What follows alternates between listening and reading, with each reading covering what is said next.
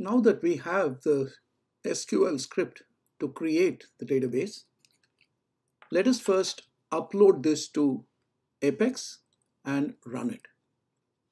So of course, what we need to do is within Apex, you know, log into Apex, select SQL Workshop, either by clicking on the, you know, pulling down the drop down here or clicking on SQL Workshop, and then selecting SQL scripts.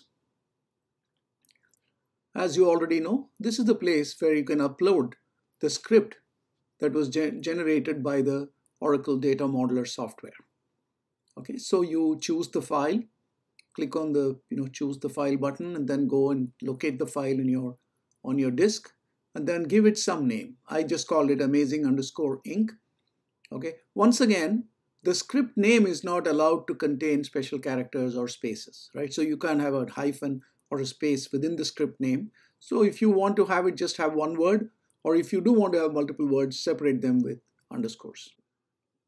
After uploading, by clicking the upload button, you of course need to run the script. I've, unfortunately, I have not shown that on the slide here, but after you upload, this new script that you uploaded will appear as the topmost item here, and then you will click the run button on the right hand side corresponding to the newly uploaded script, and that script will then execute all the code in your DD, DDL file. Okay, so what will happen when you do that for the first time is you will see that running the script generates some errors like table or view does not exist. Okay, that is perfectly fine and in fact you expect that. Uh, that is because remember when we selected the uh, options for generating the DDL, we selected the delete options. Okay, so what we're saying is before you create all of these tables, okay, you want to uh, delete the tables if they exist and then create them anew. Okay, the reason we chose that is it is possible that you may have to, you know, suppose you start developing your application and then suddenly you find that you made a mistake in your logical model. So you have to go all the way back to the logical model.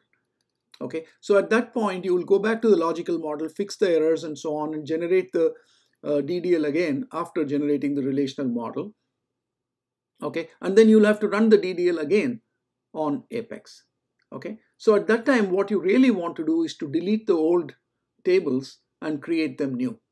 Okay? That is why we chose the delete option. So therefore after you upload the script and after you run it the first time around you will see some errors there's nothing to be panicked about uh, regarding that okay uh, and then of course you know if you if at that point uh, you go and look at your you know after running the script uh, you go and look at the object browser and by default tables will be selected and you will see the new tables that were just created.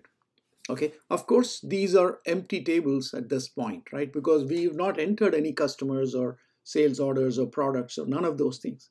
All we have in the SQL is the script to simply create the empty tables and here they are. Okay, now if you go ahead and select sequences and triggers, okay, you'll see that there are some objects there as well.